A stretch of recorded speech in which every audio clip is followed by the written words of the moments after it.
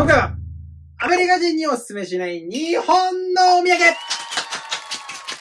ってみましょうあくまで、うんおすすめしないっていうだけで、うんあの、人によっては好きだったりとかするかもしれないし、その相手のこと知ってて大丈夫だなって思ったら全然大丈夫だし、一般的に初めて会う人に渡すにはあんまりおすすめしないっていう、はい。起点でぜひともお楽しみください。あの10選はい。用意しました。10選。10個もあるのね。10個もあります。はい。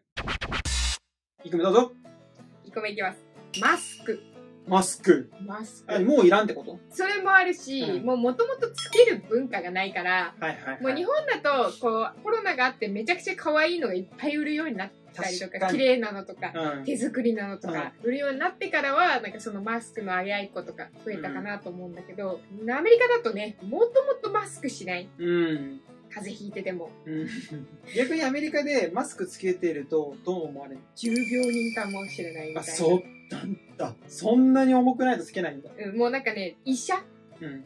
がその、それこそ手術する時とかしかつけないイメージだから、へえ。もうなんかめったに見ない、マスクをしてる人。街中でマスクつけてたらじゃあもうやばいやつになるんだ。あ、もう、抜く。抜く。今、ぬっくに聞こえめっちゃ、く。浮く。んだ。うん。日本人がアメリカ行ってさ、ちょっと覗いていいからってマスクつけてたら、なんか絶対言われる？言われい。ないけど、ん今だと、あの、すっごいコロナ気にする人なんだ。ああ、今はね、そっか、今はそれがあるから、なんとなくに逃げられるじゃないけど、あうん、ねでも、それでもだいぶ浮く。なんか、あ、めっちゃ気にしてる人なんだみたいな感じ。なんかすごい異常なほど気にしてる人だと思われる。そうなんだ。それは意外だね。って感じのくらいにもマスクつけない。だから、マスクをじゃあ、だからアメリカでお土産で持ってったところで、そう、みんなつけない。つけないから、な何これってなっちゃうんだ。そうどうしようみたいになっちゃうんだ。そう。なるほどね。それは持ってかない方がいいね。おすすめしない。おー、おすすめしません。ていうなんで、おーってなったかじゃないけど。もうおすすめしません。っおー、おすすめしません。ていうことです。はい。じゃあ2個目いきましょう。はい。2つ目。どうぞ。おつまみ。過去うん海鮮系。海鮮系？そうなの？イカとか、スルメとか？スルメとか。当たり目とか。当たり目とか、ホタテとか、あの、貝紐とか。貝ひもとか、え、そうなの？あんまりおすすめじゃない。そうなの？そそもそも食べ慣れてない。あー、ないのか。そう、海鮮系は、もうね、揚げてあるか、ムニエルかみたいな、へー。の二択くらいしかなくて、もうイカもほとんどね、なんか、あんまり食べたことある人も少なくて、そうなんだ。食べたことあると、キャラマリーって言って、フライに、まあ、要するにフライにしてあるの、こうちっちゃくして。はいはいはい。で、フライにしたのをこうディップして食べたりするんだけど、もうそれくらいしか食べたことないイカって。だからもうそもそもなんか生のイカもなんか気持ち悪いってイメージがあはいるし、はいはい。それがさらにカピカピになってる状態のとか見たら、ちょっなるほとドどン引きされねち。ゃうと思う。へー、そうなんだ。一般的には。意外だわ。あと味とかそのこうずっと噛むのとかも苦手だと思う。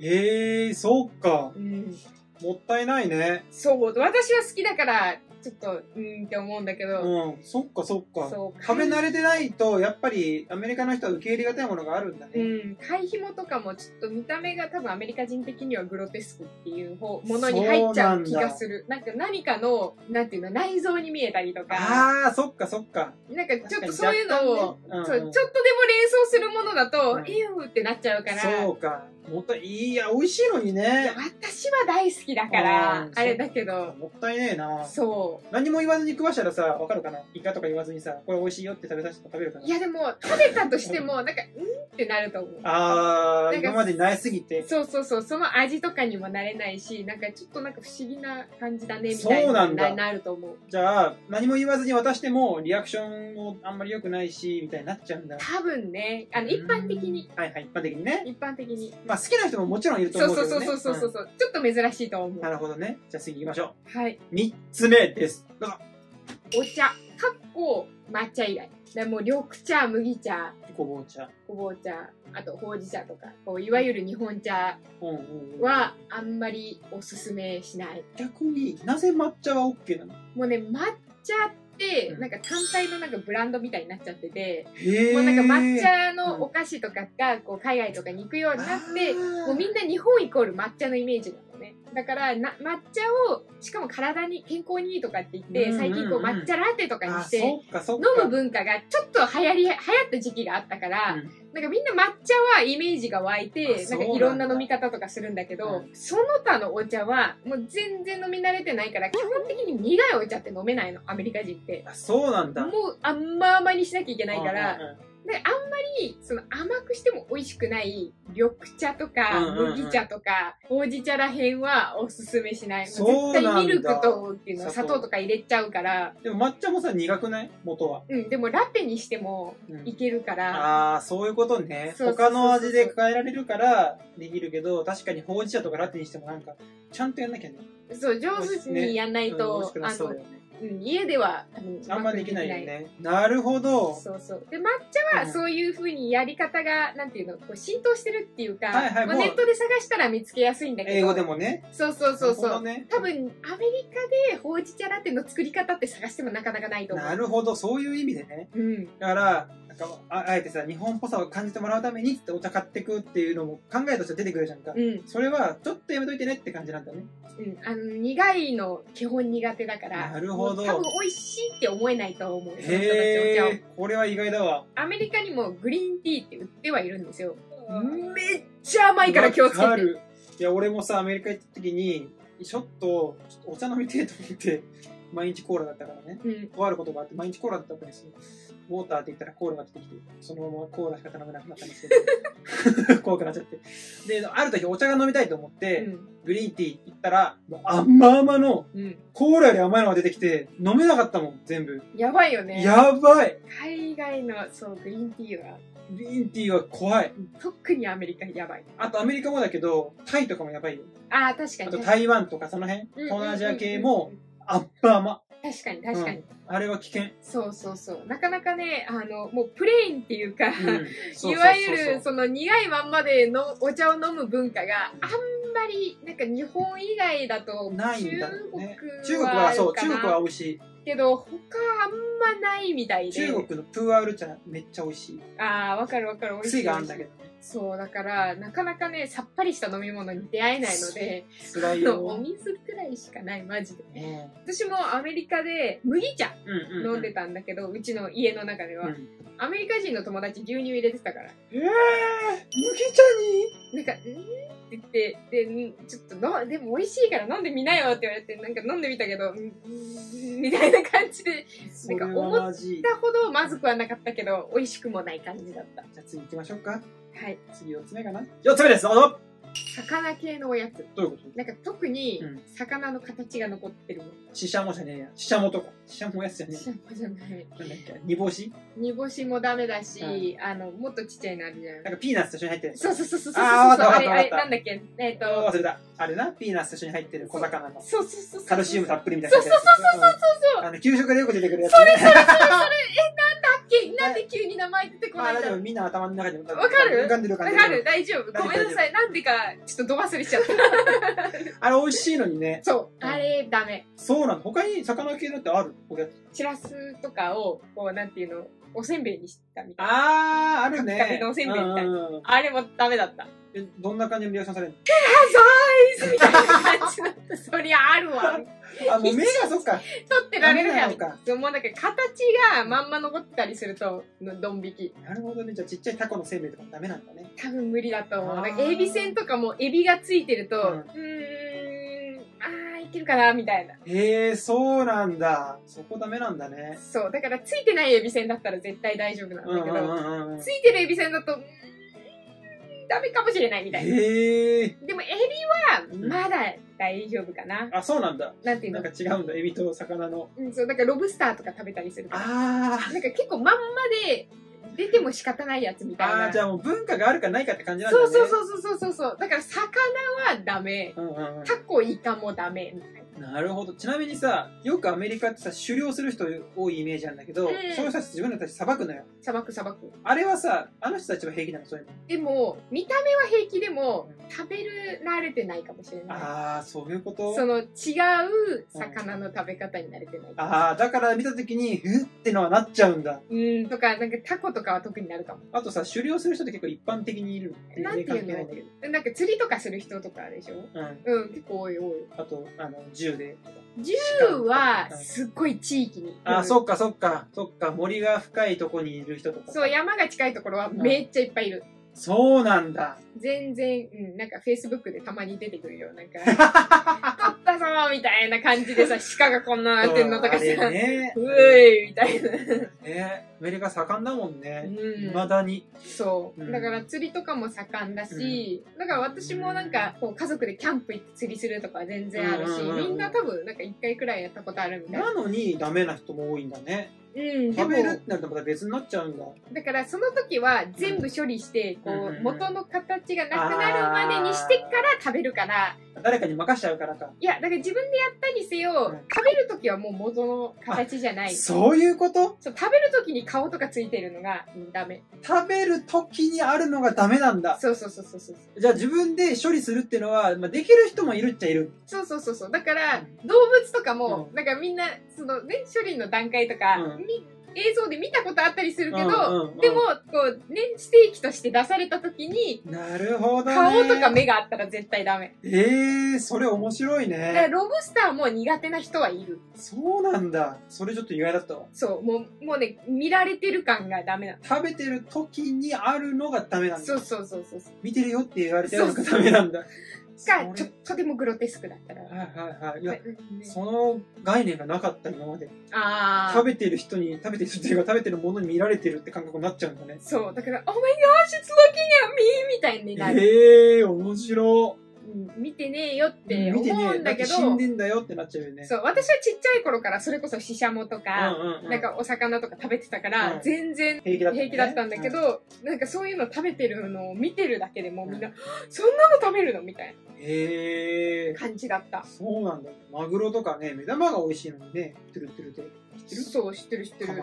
あもう絶対無理だと思うよ。へえ。一般的なアメリカ人は。よっぽどそういうのいろいろ試すの、なんか大丈夫な人じゃないとって感じで、もうだからあと内臓系も全部はいはいはいはいはい。だから友達は結構なんか 面白かったのかな、うん私の友達がすごい自慢して、うんうんうん。俺の父ちゃん何でも食べるんだぞみたいな。なんかその、みんなと友達との賭けでうん。羊の心臓を食べたんだぞとおか、ー。なんか腸を食べたんだぞとか言ってそうなんだ、え、生でやばーとか言ったら、違うよ、ちゃんと調理はしてあるって言って、え、だったら私も食べれる。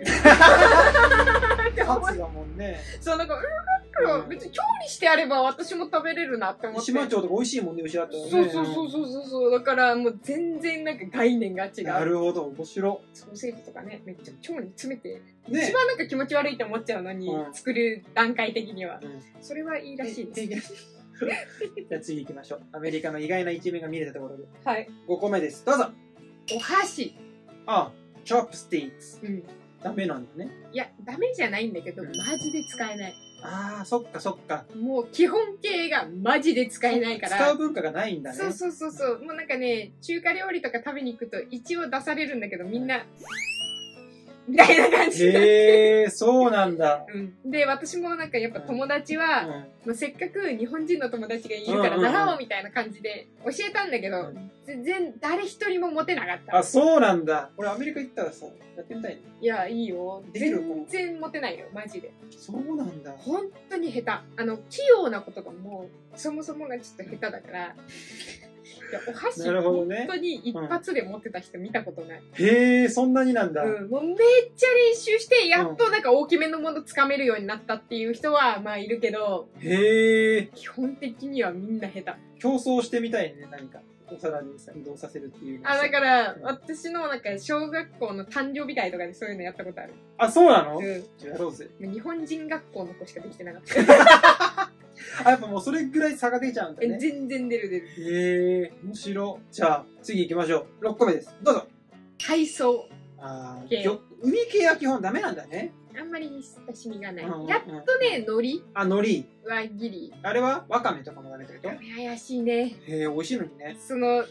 お味噌汁にうんもう出来上がって入ってたら大丈夫だと思う。あ、そうなんだ。え、もう味どんな噌、感じになるの海藻とか？なんていうの、茎わかめとか、こうんうんうんうおやつで持ってったりとか、ああ、なるほど。あと昆布とか、うん、うん。しゃぶり昆布とかあるはいはい、あるあるある。ああいうのとかは多分無理だと思う。どんなリアクション？そもそも、何これ？みたいな。で、シーウィードって言ったら、うんシーウィードみたいな。へえ、もう拒否反応が出ちゃうんだう。ん。で、多分味も慣れない。あ、味が、やっぱ、馴染みがなすぎてってことか馴染みがなくて多分ちょっと、ん？ってなると思う。へえ、そうなんだ。そういう、なんだろうね、だしっぽい味にうんあんまり慣れ親しんでない美から。味しいのに、そうなの。こんなの、だからわ、かめとか。今の時代になって、やっと、旨味っていう単語が、浸透し始めたから、うんもう英語にはないんですよ、旨味って名前。うん単語自体が。そっかそうねだからもうみんな、旨味って呼んでるんだけど、This has so much 旨味。だから、これ、うまみって言って渡したら、うんもしかしたら、おーって試すかもしれないけああ、いいね。そういう感じなんだねど、。そうそう、でも基本的に親しみがない。へだからえ。あんまり美味しいって感じる人は少ないと思そうか、そうか、そうか、意外だな。う。で、見た目も、こう、黒くて、なんだろう、そういうのも見たことないから、言われてみると特殊なのかもね、海藻とかって。そうそうそうそう。これって日本ならではなのかな？でも、結構、まあ、あの、アジアコミュニティの近くとかだったら大丈夫だったはいりするはいはいんだけど。ちょっとなんか一般的にはあんまり、なんか、うん、あ、なんか不思議な味するねって言われちゃうと思う。ああ、あの、最大限の優しさを込めた感じでね。うんうん私は慣れないけど不思議な味するね、みたいなはいはいはいはい。感じの、うん。外れお土産を持ってきたない、持ってきたくないからね。そうそう。こういうのは持ってかないようにするのが無難かもね。かなーって思う。7個目です。どうぞ服。服ダメなのおすすめしないのじゃない。んだけど、サイズ感がだい。ぶ違うから難しい。ああ、そうい。うことか。しい。そ手足の長さと。か。そう。だからよく知ってて、うんあ、この人は私と同じようなサイズとか、うんうんよく分かってれば全然大丈夫なんだけど、ねそうじゃない。と T シャツ1枚でも意外と合わない。めっちゃわかる。俺はアメリカの服の方が体に合うから、あっちで買うのがい。いんだけど、うんうん逆パターンがあるってことだもんね。そうそうそうそう、まさに。うんめっちゃわかるわ。そういう、だから、まあ、不確定要素の多いものは、持ってかない方がいいよって感じね。そう、いやだから T シャツとか、なんかこう無難そうに見えて、意外となんか、え、肩幅入んなみたいな。はいはい。日本語のかっこいい文字書いてるけど、え、なんか全然パッチパチなんですけど、みたいになっちゃう、ね。そうそうそうとか、なんかその背高いから、なんかこう細いのに背高いかったりとかするから、丈を合わせようとするとダンボダンボになっちゃったりとかこうね、長袖にしたらね、こんなになっちゃったりしたらね、そうそうそうそうね。なっていう。ので、難しいからおすすめしない。うんうんうんだからよく相手のなんかサイズ感分かってれば全然大丈夫。ね。うちもなんかもうめちゃくちゃ仲いい、なんか家族ぐるみの友達とかがいると、そういう人たちは大体わかるから、全然買ってったりするんだけど、そうねそういう人たち以外ではね、かあんま買わない。じゃあ8個目です。どうぞ。梅。そっか、酸っぱい系？そっか。なんかね、うん酸っぱいお菓子とか、結構みんな酸っぱいの好きなんだけど、うんうん。梅の酸っぱさってちょっと特殊らしくて、あ、そうなんだ。梅のはダメなんだ。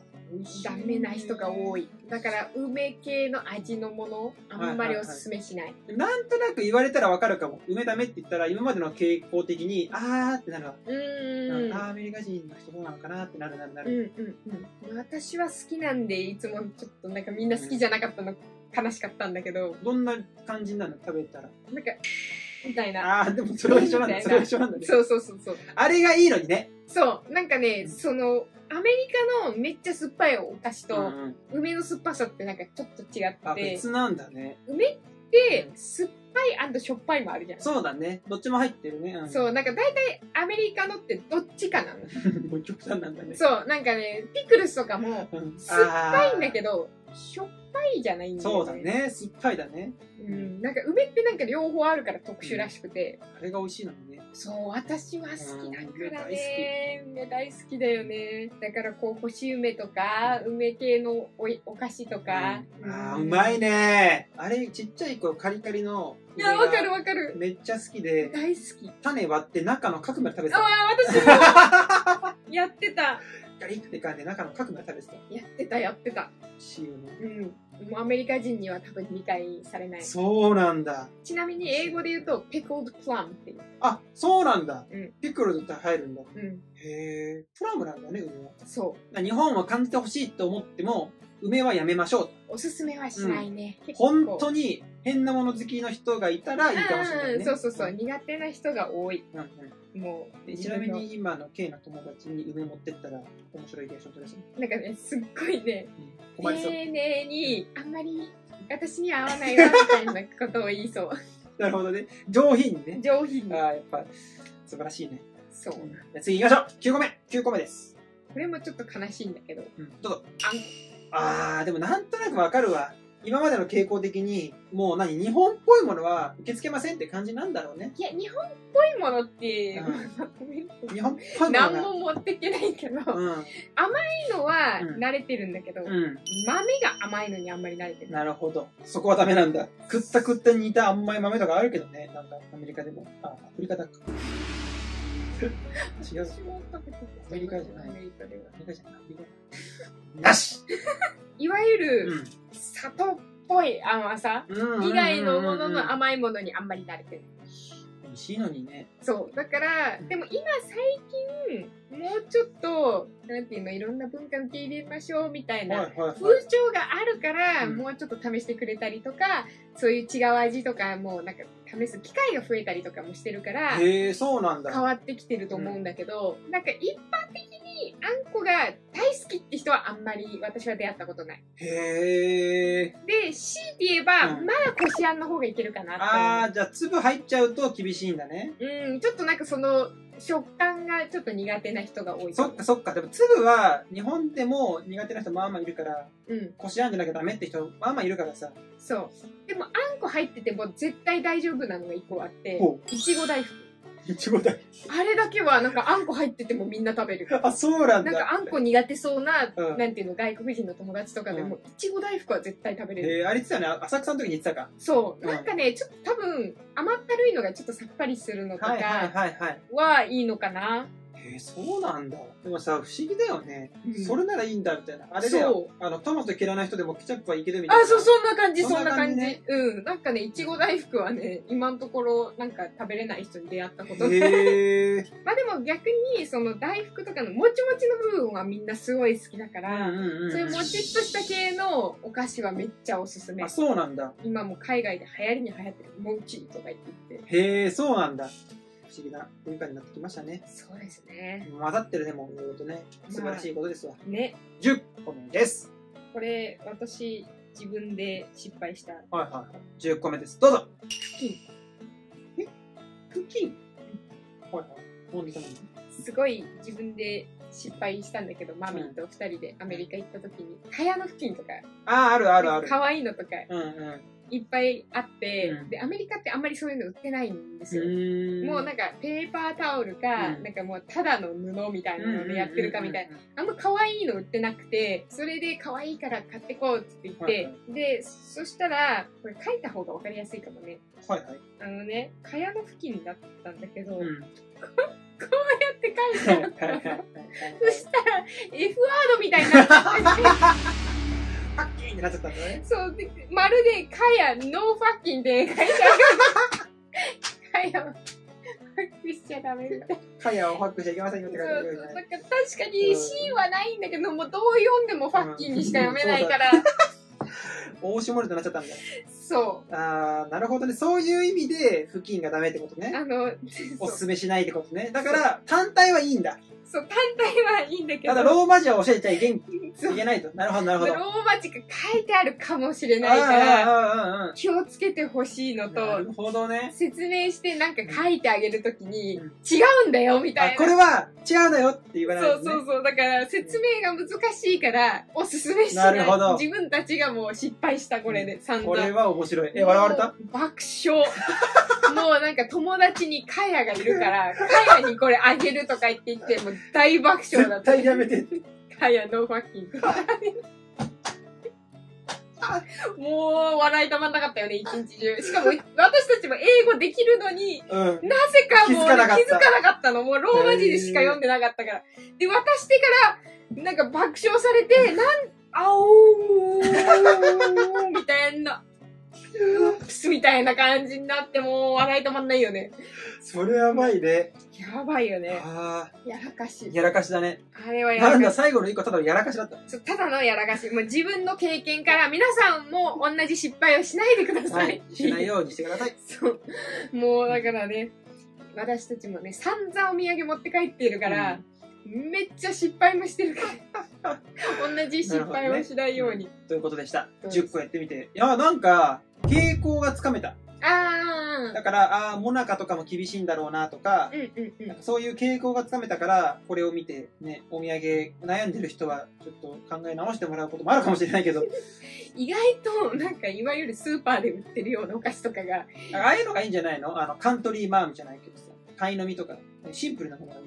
うん。でもあれ多分甘さ控えめって言われちゃうから、もうなんかハイチュウとか、もう飴系とプかがッチ。ョとか、そうそうそうそう、飴系は結構大丈夫。全振りしてるやつね、日本で言うとね。うん。あれが甘さ控えめになってたやつね。